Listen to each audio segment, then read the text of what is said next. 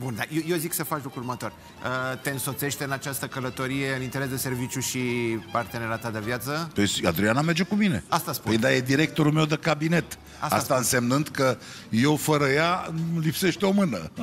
Exact. Și ce faceți acolo la Dubai? Există o, o relație deja fixată de doamna prim-ministru acum câteva luni de zile când a fost în uh, Dubai. Uh, Bineînțeles că e o chestiune și legată de centenar, dar sunt niște schimburi uh, culturale și avem uh, sarcina să le solidificăm, să le unim și să le Și câte întărim. zile stați? Trei zile. Trei zile. Da. Vreme frumoasă. Nu știu, bă, că nu mă duc la plajă. 20 Dar... și ceva de grade. Da, mă, dar nu mă duc să... Să nu eu... ții haine groase la tine! Să nu-mi iau haine? Nu-ți lua... A, hai. Să știi că au o plajă frumoasă. Da, mă, și nu să știu, te n-am duci timp. Acolo, să te duci acolo unde este cel mai înalt loc știu din lume. că am și prieteni acolo, am și rude. Problema este că eu în momentul când mă duc acolo, din momentul când am coborât din avion până când mă urc înapoi să vin spre țară, sunt cu ocupat. program uh, minut de minut. Auzi, și ce, ce vreau să te să zic? Da, uh, până la urmă, uh, femeia și uh, te-a, pe, pe tine te-a făcut să te simți întotdeauna mai bine, mai împlinit, așa că sunt convins că Adriana, în calitate de șef de cabinet, dar și șef din cabinetul sufletului tău, Da. o să te ajute foarte tare. Ea este cea care cred că a înscenat, nu știu de ce am eu așa... uh, uh, M-a chemat uh, Daniel Breaz, ministrul nostru, m-a chemat să mă spună ce Mădăline, uh, vrei să... dar Nu mi-a spus pleci, mi-a spus ai vrea să pleci într-o delegație uh, guvernamentală la Dubai?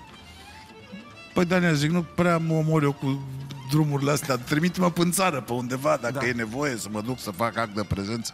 Nu, domne, că e Dubai, pentru că doamna premier a rezolvat niște lucruri acolo, trebuie să mergem și cu Natalița Intotero, că și ea este Da, da. Cu, cu românii de pretutindeni și avem niște întâlniri de la m, secretar de stat, miniștri și viceguvernatori. Eu cred că lucrul ăsta este bun pentru noi, în primul rând. Ce Adică mă e o gândeam, chestie- ce o să găsească sub brad, de exemplu, Adrian? Ce te-ai gândit? Ce o să, ce, a vorbit cu Moș Crăciun? Băi, nu pot să divulg. Se lucrează? Se lucrează. Mă gândesc, sunt curios ce o să găsesc eu sub brad. Păi, dar de ce ți-ai dori să găsești sub brad? N-ați făcut Știe scrisorica? ea, știe ea. Nu, ăștia mici ai mei, Ștefan și cu Ion, am pregătit scrisorile. Da, da, da. Când mă întorc trebuie să mă duc să le iau, să le trimit cu poșta la... La în, Moș.